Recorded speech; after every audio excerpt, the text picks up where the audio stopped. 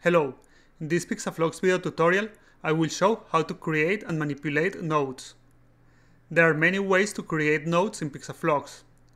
From the Nodes toolbar, click a Node Group button. Drag the node button from the panel and drop it into the node graph viewport. When a node is on display showing the red border, we can just click on the node button to add a new node. We can drag bitmaps from disk to the node graph viewport. Right-clicking on the node graph viewport displays a window where you can type the name of the node. Double-click a node name from the list to create it. To select a node, click on it. A white border shows the selected nodes. Double-clicking a node sets it as the active node and the display node. Selecting a node and pressing the A key sets it as the active node. The active node is displayed with a green background we can set the attributes of the active node. Selecting a node and pressing the D key sets it as the display node.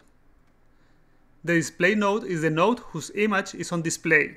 The display node is displayed in the graph with a red border. Pressing the D key continuously toggles the display socket. Red, green, blue.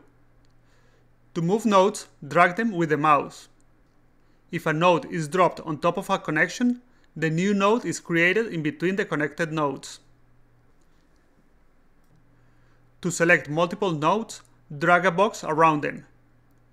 To duplicate the selected nodes, press the Shift key and drag the nodes. To the select nodes, click on the node graph background. To delete nodes, select them and press the Delete key. This is how you create and manipulate nodes in Pixaflux. Thank you for watching.